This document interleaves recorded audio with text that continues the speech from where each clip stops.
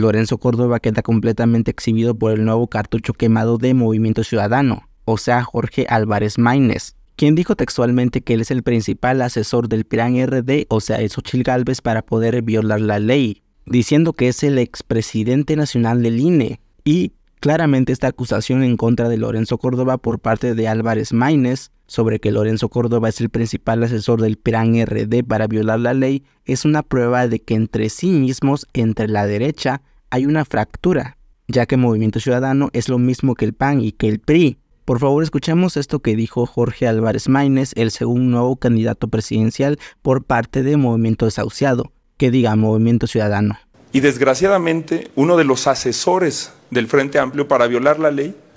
es uno de los principales responsables de la realidad que tiene hoy México, expresidente del Instituto Nacional Electoral, y no le da pena brincarse